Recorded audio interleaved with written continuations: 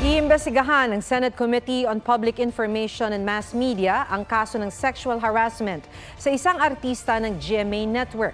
Walang binanggit na pangalan si Committee Chairman Senator Robin Padilla.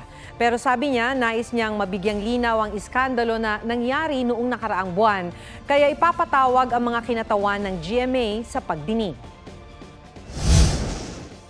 Hindi po natin sinasabi na may sabit dito ang GMA7. Hindi po.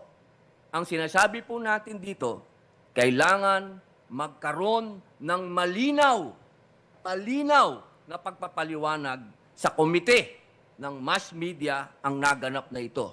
Sapagkat ito po ay public information. Ayon sa GMA Network, nakikipag-ugnayan na ito sa komite ni Senador Padilla at kinumpirmang magpapadala ito ng kinatawan sa pagdinig.